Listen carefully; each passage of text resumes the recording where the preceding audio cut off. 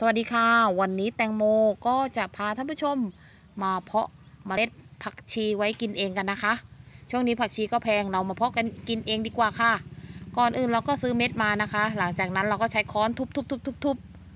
อันนี้ทุบไม่ต้องเละมากนะคะ แค่ทุบแบบว่าให้เม็ดแตกออกจากกันสองส่วนก็พอนะคะ อันนี้แตงโมก็ซื้อมาถุงละสิบบาท เพาะกินเองสำหรับในครัวเรือนและก็พอแจกคนข้างบ้านค่ะ เวลาทุบเราก็พลิกกลับไปกลับมานะคะ ทุบพอประมาณ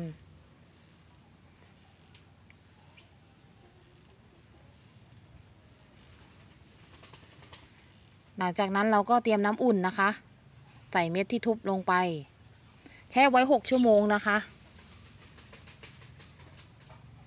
เวลาเราใส่ลงไปเราก็ใช้มือคนนิดนึงเพื่อให้ดูเม็ดเม็ดไหนจมเม็ดไหนลอยนะคะ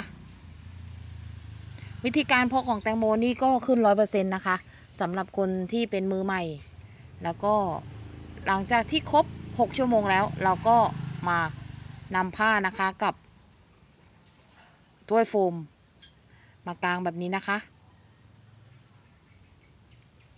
เทเมล็ดลงไปในผ้าเลยค่ะ เห็นไหมคะ เมื่อเราแช่ 6 ชั่วโมงเม็ดบางส่วนก็จม ส่วนเปลือกที่เราทุบก็จะลอยอยู่ด้านบนแล้วก็ เทรวมลงไปเลยค่ะ ไม่ต้องแยก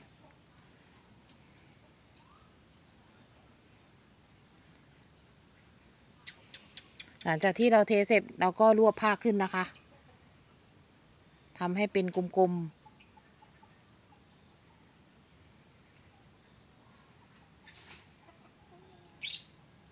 ส่วนน้ำที่อยู่ในถ้วยเราก็เทออกค่ะ ไม่ต้องบีบน้ำออก นะคะ ก็คือแค่สลัดสลัดให้น้ำหยุดไม่ให้น้ำขังนั่นเอง หลังจากนั้นเราก็ใส่ถ้วย แล้วนำไปแช่เย็นไว้หนึ่งคืนค่ะ เราสามารถแช่เย็นไว้หนึ่งคืนหรือหนึ่งวันก็ได้ แต่ว่าไม่เกินหนึ่งวันนะคะ แช่ไว้ชั้นล่างไม่ใช่ชั้นฟิตนะคะ ถัดจากชั้นฟิต เมื่อเราแช่ครบตามจำนวนวัน เราก็มาปลูกกันเลยค่ะ นี่นะคะเม็ดของเขาก็จะมีติ่งขาวๆเมื่อเราแช่นะคะ ผ่านความเย็น วัสดุในการปลูกของเรานะคะ ก็คือพีทมอสเลยค่ะ ส่วนด้านล่างก็เป็นดินธรรมดานะคะ ส่วนด้านบนเป็นพีทมอสเราโรยลงไปชั้นบนนะคะ วิธีการใช้พีทมอสในการปลูกก็จะทำให้เมล็ดของเขาขึ้นเกือบร้อยเปอร์เซ็นต์ค่ะ วิธีนี้ก็คือสาเมื่อต้นขึ้นแล้วเราก็ไม่ไม่จำเป็นต้องแยกนะคะ เพราะว่าอาหารเพียงพออยู่แล้ว แต่เราเพิ่มเติมพิษมอสด้านบนก็คือเพื่อให้เม็ดของเขางอกแล้วก็เจริญเติบโตได้เป็นอย่างดีค่ะ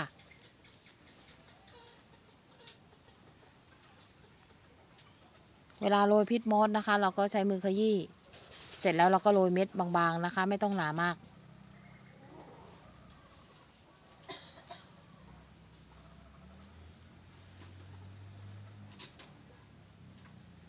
แล้ว ก็ใช้มือเกลี่ยนะคะ เกลี่ยให้ทั่วไม่ให้เม็ดติดกัน หลังจากนั้นเราก็โรยพิษมอสด้านบนอีกหนึ่งชั้นนะคะ วิธีการโรยก็คือโรยให้มิดเสมอเม็ดนะคะ เราใช้มือเกลี่ย กรบเบาๆนะคะ การเพาะผักชีไว้กินเอง นอกจากดีจะเพื่อสุขภาพแล้วก็ไม่มีสารเคมีเนี่ยนะคะ ก็ประหยัดเงินด้วยช่วงนี้แพงมาก หลังจากกบเสร็จเราก็ลดน้ำให้ชุ่ม แล้วก็วางไว้ในร่มนะคะลดน้ำช่วงเช้าหรือช่วงเย็นหนึ่งครั้งนะคะ ช่วงที่เม็ดกำลังออกหลังจากนั้นห้าวันเรามาดูกันค่ะอันนี้ก็เป็นพักชีนะคะ อายุห้าวันหลังจากที่ลงเพาะด้วยพีทมอสนะคะเขาก็เริ่มขึ้นมาให้เราเห็น การเพาะด้วยพีทมอสนี่ก็จะทำให้ผักชีของเรางอกดีมาก ๆนะคะ และลำต้นที่เกิดมาก็แข็งแรง นี่นะคะ ขึ้นดีมากๆค่ะ อาจจะเพราะว่าความชื้นของพีทมอสนะคะ สม่ำเสมอก็จะทำให้ผักชีของเราขึ้นแบบสุดๆไปเลยค่ะ ถ้าใครถ้าท่านผู้ชมคนไหนนะคะเพราะผักชีเราบอกว่าไม่ขึ้น ลองใช้พีทมอสดูนะคะ ขึ้นจริง ขึ้นเกือบทุกเม็ดจริง ๆนะคะ อย่างกระจุกนี้ก็เช่นเดียวกันนะคะ ก็โผล่ออกมาให้เห็นแบบว่า นี่ลากขาวๆลอยมาเลยค่ะ นี่นะคะว่าถ้าใช้วัสดุอะไร